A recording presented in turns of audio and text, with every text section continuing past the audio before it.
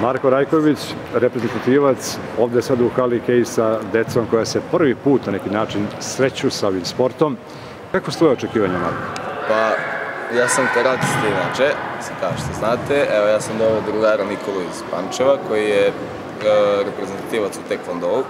Sam doveo njega malo da, da pokaže deci kako se radi Taekwondo, koje su osnovne tehnike i da pomogne nama u obuci u ovom sportu, kako bi mi mogli da prenesemo ovoj mladoj deci, da mogu da, pošto je atraktivan sport, mlad sport, deca vole taj sport, olimpijski sport i vidim da je za sada interesovanje veliko, Biće sigurno još veće, deca su malo preokupirana ovom zimskom školom, što je dobro, idu na sve sportove, tako da nadam se da će biti još veći broj dece.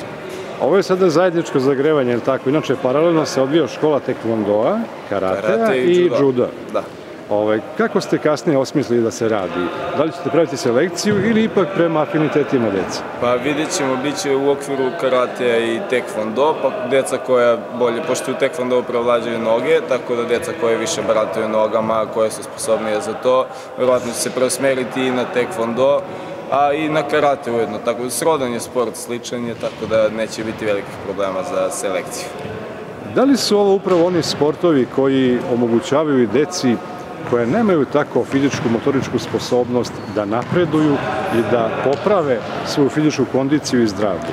Pa jesu to sportovi, borilački sportovi, pre svega e, popravljaju tu motoričku sposobnost zato što provlađuju svojim e, ekstremitetima nogu, ruku, vladaju svojim ekstremitetima veoma dobro i ko koordinacija je najbitnija za te sportove, tako da unapređuju svoje motoričke sposobnosti veoma